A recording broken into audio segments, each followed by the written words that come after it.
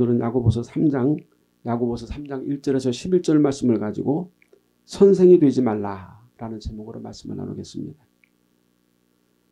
야고보는 왜 선생이 되지 말라고 말씀을 했을까요? 우리가 선생이라고 하면은 말로 입으로 가르치는 직업을 가진 사람을 선생이라 이렇게 말합니다. 야고보는 2장에서 듣기는 속히 하고 말하기는 더디하라고 교훈을 했는데 이미 혀에 대해서 경고장을 주었어요. 혀가 얼마나 우리 몸에 있어서 중요한 부분인가를 이제 말씀해 줬습니다.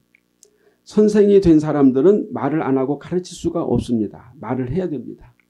야고보는 자신을 비롯해서 사도들은 이미 가르치는 자 선생이 되었으므로 오히려 이 선생이라는 직분이 심판을 받지 않도록 매우 조심해야 된다. 이렇게 말씀하고 있습니다. 예수님께서도 마태복음 23장 8절에 너희는 랍비라 칭함을 받지 말라. 너희 선생은 하나이요. 너희는 다 형제니라. 예수님께서 그 당시 랍비라고 칭함을 받는 바리새인이나 서기관들에 대해서 경고하신 말씀입니다. 그 당시 바리새인이나 서기관들은 모세율법을 연구하고 가르치며 직접 실천하는 자들인데 자기들이 모세율법에 정통하고 모세율법을 가르치고 행하기 때문에 사람들이 자기들을 랍비라 이렇게 불러주기를 원했습니다. 그래서 랍비라고 불려지면 매우 영광스럽게 여겼다 하는 것입니다. 그런데 우리가 구약 성경에서 보면 선지자들이 많이 나오는데 구약에서는 선지자들이라 하더라도 랍비 이렇게 부른 것이 없는데 예수님 당시에 타락한 바리새인들과 율법사들이 자신의 존경과 명예를 얻기 위해서 사람들이 그 자기들을 랍비라 이렇게 불러주기를 원했다는 것입니다. 랍비라는 말은 그 유대 사회에서 최고 상류층 그리고 존경받고 또 모든 유대 서민들은 랍비의 말을 들어야 됩니다. 랍비가 그 율법도 가르쳐주고 또 탈무드라고 하는 유대인들의 생활 방침도 가르쳐주고 그리고 또 법에 관한 거 이런 것들도 다 가르쳐줍니다. 그래서 랍비라고 불려지면은 그 유대 사회에서 상당히 명망 있고 존경받고 가문의 영광이 될 수 있는 가문의 이름을 남길 수 있는 그런 위치이기 때문에 랍비라고 하는 것에 대해서 굉장히 이렇게 가치 있게 여겼다는 것입니다. 여기서 바리새인들과 서기관들은 다른 사람들이 자기들을 나를 선생 또는 랍비라고 불러야 된다. 랍비라고 불러다오 이렇게 요구를 하기 때문에 문제가 된다는 것입니다.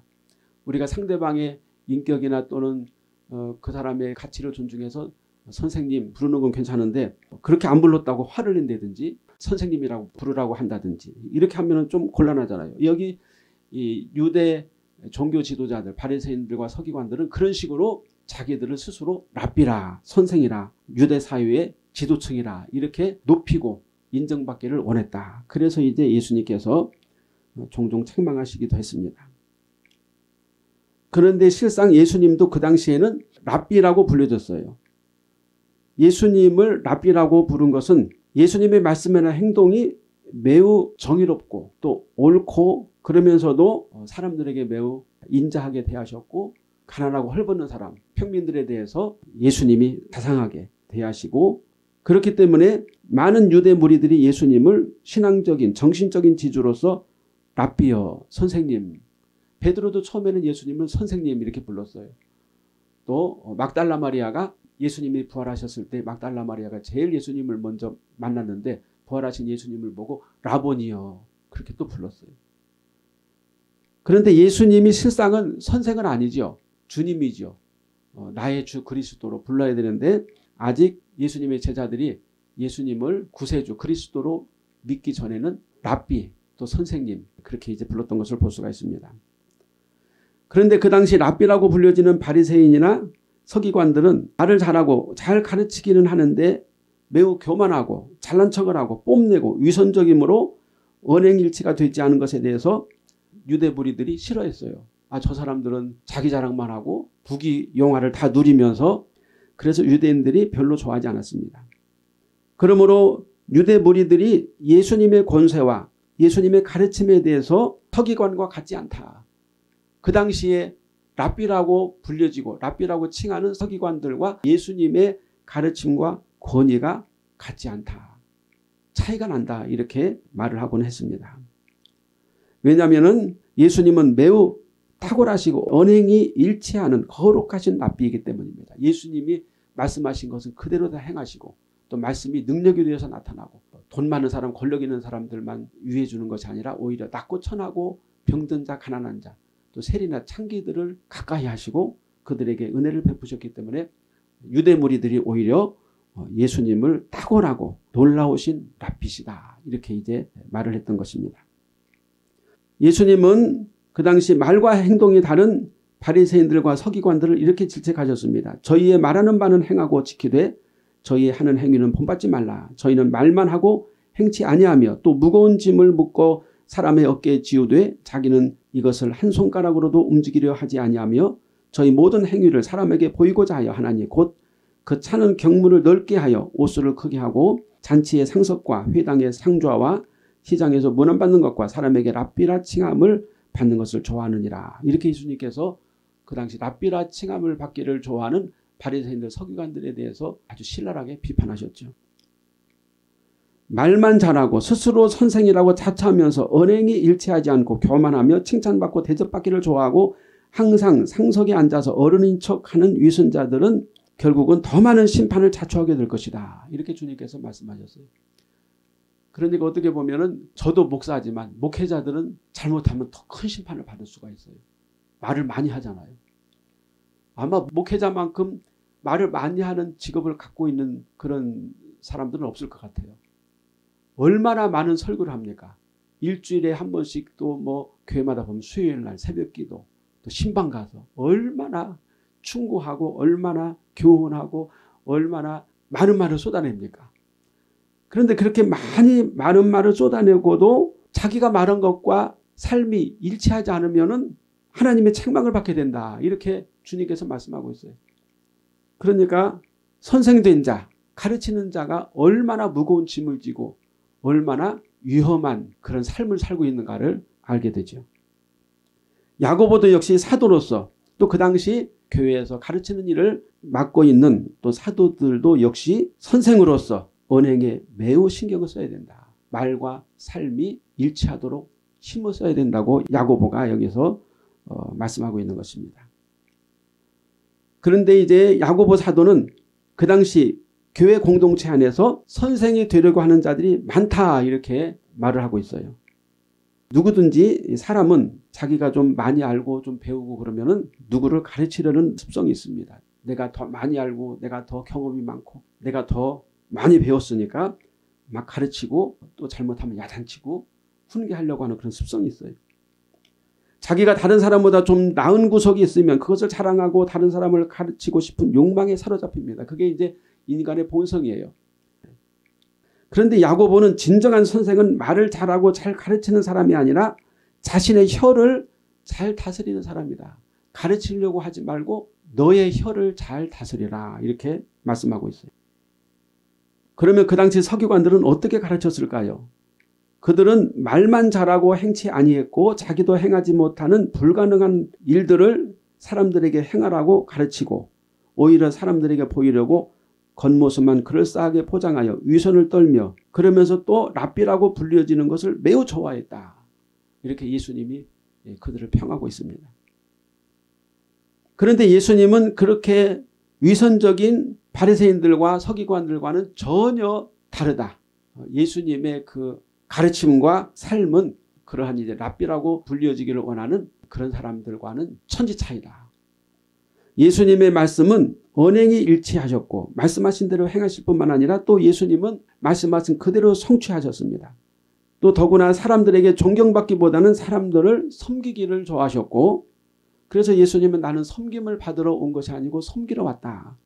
자신이 하나님과 동등하지만 하나님을 아버지라고 부르면서 나는 아버지의 뜻을 행하러 왔다고 그렇게 또 말씀하셨고 더구나 가난하고 버림받은 자들의 친구가 되셨습니다. 스스로 창기와 세리의 친구가 되었다고 그렇게 말씀하고 있어요. 여기서 사복음에 나타나는 예수님을 보면은 예수님의 가르침에는 말씀의 능력이 있었고 진정성과 겸손함과 사랑과 경외심이 있었다. 그리스도인들이 예수님처럼 말하는 대로 실현되는 능력이나 권세를 가질 수는 없어요. 그러나 적어도 믿음과 말과 행동은 일치해야 된다. 우리가 예수님처럼 귀신아 나가라 한다고 해서 금방 귀신이 나가고 뭐 안전뱅이 보고 일어나라 해서 일어나진 않습니다. 그런 권능이나 권세는 없지만 적어도 내가 믿는 바와 내가 말하는 바와 행동과 삶은 일치해야 된다. 이렇게 야고보가 말하고 있는 것입니다. 그래서 예수님께서 이와 같이 자기의 믿는 바와 가르치는 것과 행동이 일치하지 않는 서기관과 바리새인들을 향해서 뭐라고 말씀하셨습니까?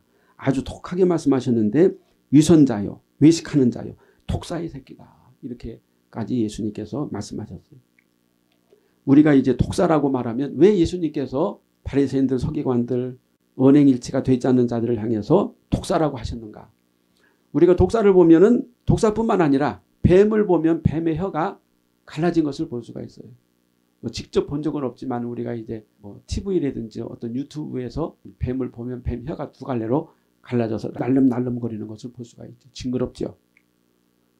그런데 이 혀가 둘로 갈라졌다는 것은 두 말을 한다는 거예요.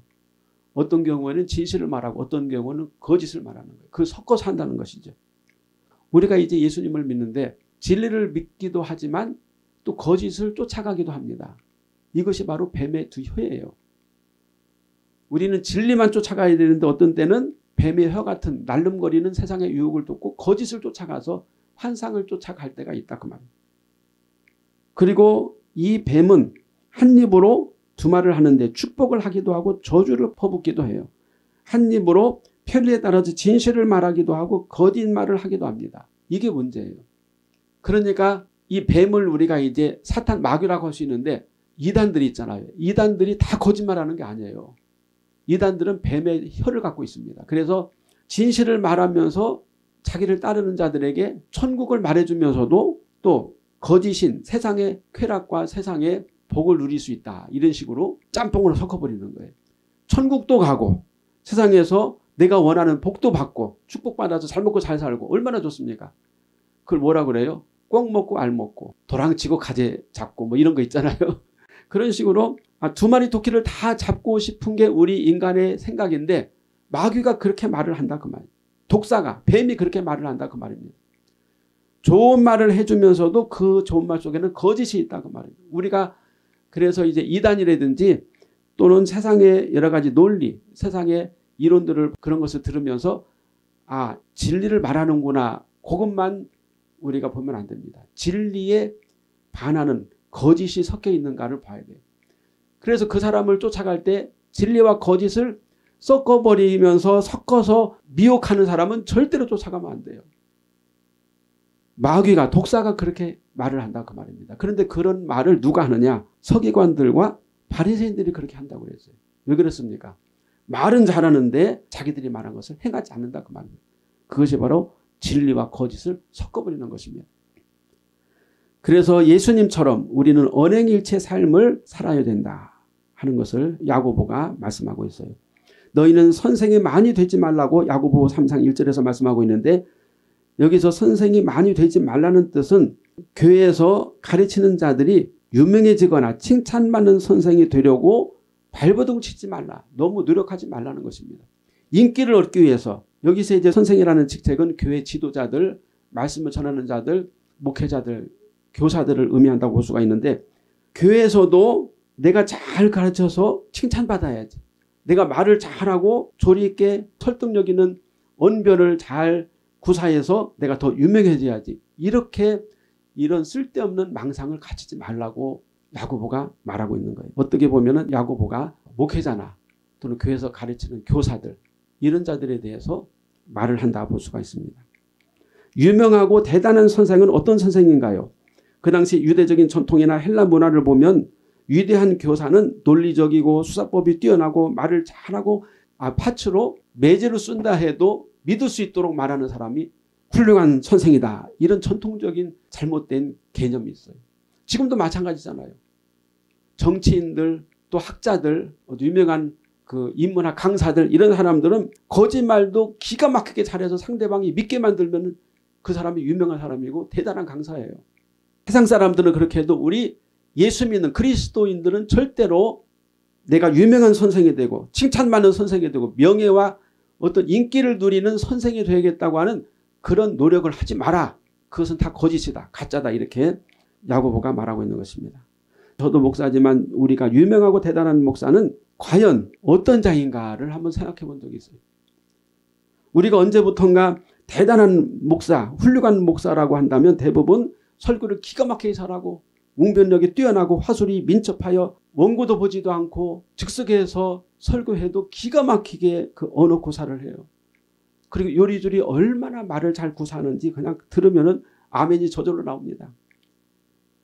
그래서 교인들은 웃겼다 울렸다 막 감동시키고 그러한 목사를 대단한 목사다. 훌륭한 목사다. 그렇게 생각하는 흐름이 있어요. 그래서 어, 저도 젊었을 때는 그런 훌륭한 말 잘하고 언변이 뛰어나고 그리고 성경을 기가 막히게 잘 파헤치는 목사가 되기를 원했어요. 그래가지고 열심히 노력했는데 탁월한 게 있어서 그런지 안 되더라고요. 말주변이 안 돼요. 또 이제 신학교에서는 설교학 시간에 설교 실습 과제가 있어가지고 서로 설교를 어 이렇게 이제 하면서 듣고 비평하여서 점수를 매기는 그런 시간도 있어요.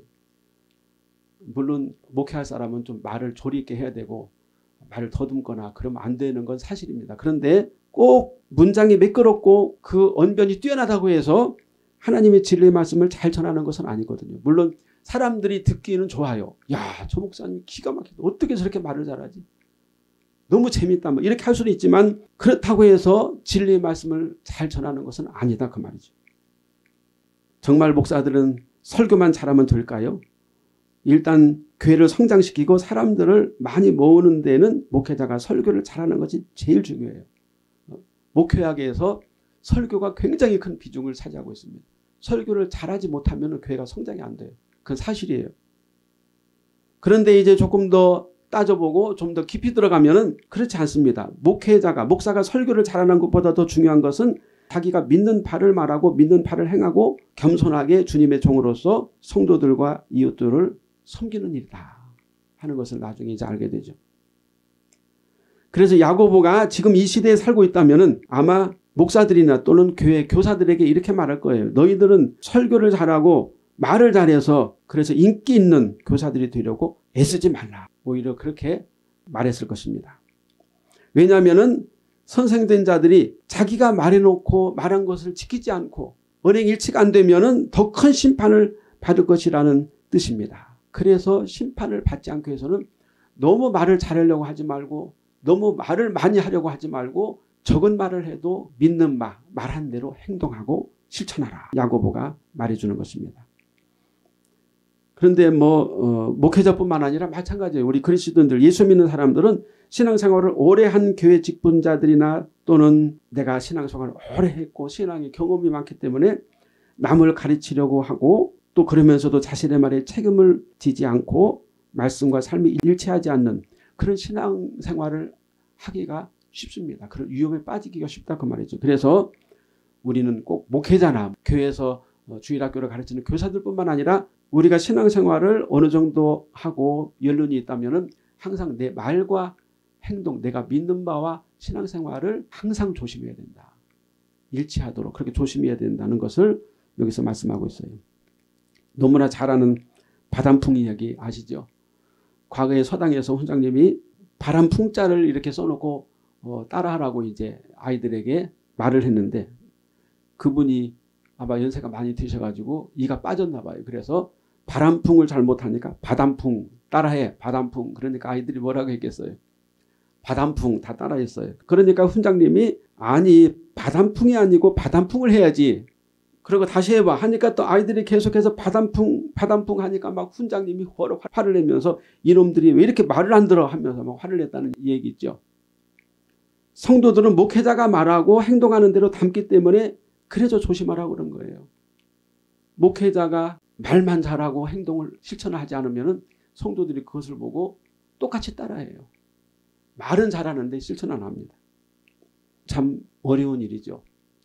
누구에게 본이 되고 언행이 일치되는 삶을 산다는 것이 굉장히 어려워요. 그래서 야고보는 특별히 조심하라. 목회자뿐만 아니고 모든 성도들이 조심해야 된다. 이렇게 말하고 있는 것입니다. 말에 실수가 없는 자면 온전한 사람이라 그렇게 또 말씀했어요. 우리가 여러 가지 일에 죄를 지을 수 있지만 말로 죄를 짓지 않는다면 온전한 사람이 될 수 있다. 야고보가 이렇게 또 말하고 있습니다. 왜 야고보는 말로 죄를 짓지만 않는다면 그래도 괜찮아. 괜찮은 사람이야. 이렇게 말을 했을까요? 야고보는 우리가 모든 일에 죄를 짓는 그 시초가 바로 말에서부터 우리 혀에서부터 오기 때문이다 하는 사실을 가리키고 있습니다. 실제로 아담과 하와가 죄를 지은 것은 하와의 말 실수에서 시작된 거예요. 하와는 선악과를 먹는 날에는 정령 죽으리라 하나님께서 말씀했는데 그 하나님의 말씀을 뱀에게 뭐라고 전했습니까? 너희가 죽을까 하노라. 상당히 다르죠. 반드시 죽는 것과 죽을 수도 있어. 비슷한 것 같지만 다르죠. 하와는 하나님의 말씀을 자기 생각대로 바꾼 죄를 지은 것입니다. 인류의 죄는 혀의 범죄에서 왔다고 볼 수가 있어요.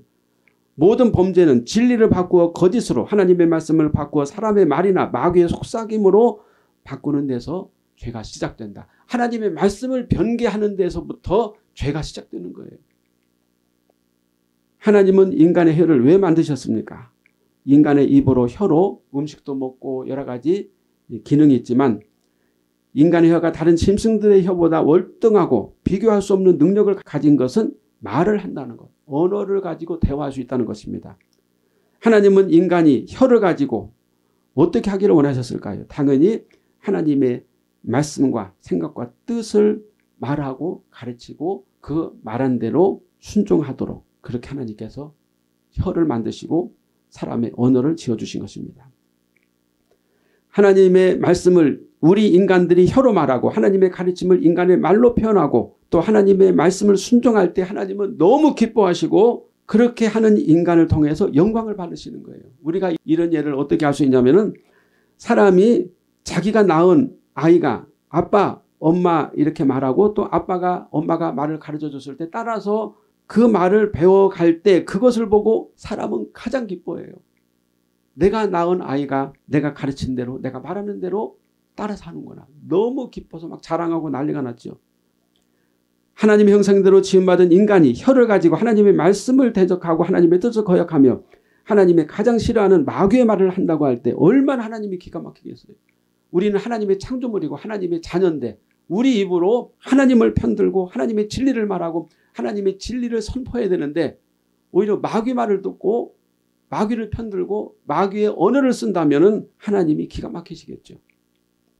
인간은 작은 혀의 말 하나로 하나님을 영광스럽게 하기도 하고 천국의 기쁨을 맛보기도 하지만 아주 작은 지체인 혀 하나로 하나님을 회방하며 진노의 불, 즉 지옥의 불을 당기기도 한다.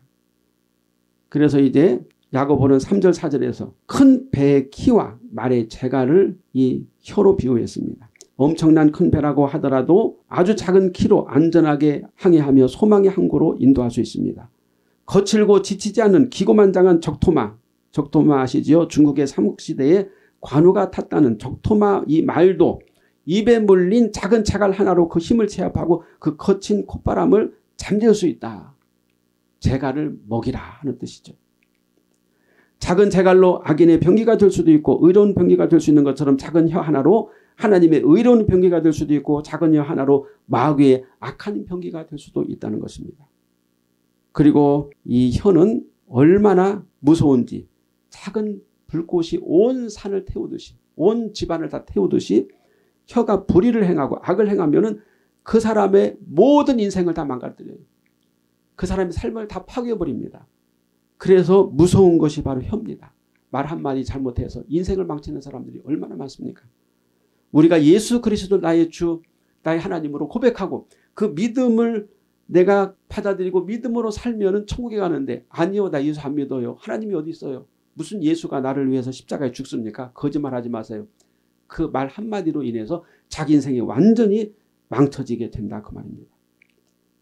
그래서 잠언 18장 21절에 죽고 사는 것이 혀의 권세에 달렸나니 혀를 쓰기 좋아하는 자는 그 열매를 먹으리라. 우리가 혀를 좋게 쓰면 아름다운 열매를 먹을 것이고 또 입술의 열매를 짓는 나여와가 말하노라. 이사야서 57장 19절에서는 입술의 열매를 짓는 하나님이라고 그랬어요. 입술의 열매를 따라서 하나님이 보응하신다 그 말이죠. 혀를 통해서 말을 악한 말을 하면 악한 열매 내가 선하고 진리의 말을 하면 하나님께서 하늘의 열매로 주시는 줄로 믿습니다. 그래서 야고보는 혀가 얼마나 맹랑한가. 이 혀 이거 봐라. 이 조그만 게 사람을 갖고 노네. 이렇게 말할 수 있어요. 새치의 혀가 얼마나 사람을 들었다 놨다 사람을 망하기도 하고 흥하기도 하는지 맹랑한 혀의 이 기능에 대해서 야고보가 한탄을 한 것이죠. 조심해야 되겠구나. 이 혀를 어찌 할꼬. 그래서 이 혀가 요망을 떨면은 그 입에서 단물과 쓴물이 나오고 한 입에서 찬송과 저주가 나온다. 그러므로 우리가 어떻게 이 혀를 잘 사용할 것인가. 작자비상의 시조에 이런 말이 있다고 그래요. 들어본 적이 있을 겁니다. 말하기 좋다 하고 남의 말을 말을 것이 남의 말 내하면 남도 내 말을 하는 것이 말로써 말이 많으니 말 많을까 하노라. 누가 이 시를 썼는지를 모르는데 말, 말, 말 이렇게 해서 나옵니다. 우리가 선생이 되려고 너무 애쓰지 마라. 누구를 가르치려고 누구를 훈계하려고 너무 애쓰지 마라. 우리는 다 예수 그리스도의 제자요 하나님의 자녀다 하는 사실을 야고보가 말하고 있습니다. 우리의 진정한 선생은 예수님이시고 우리가 예수님을 선생이요 구조로 삼고 예수님을 본받아 살아나갈 때 우리는 진정 예수님의 제자가 되어 오히려 다른 사람들에게 생명의 빛이 되고 구원의 소금의 사명을 감당하게 될 것이다. 입으로 말로 가르치려고 하지 말고 예수님의 삶을 본받아서 삶을 통해서 사람들에게 하나님의 은혜와 또 예수 그리스도의 향기를 퍼뜨리라고 야고보가 말하는 줄로 믿습니다.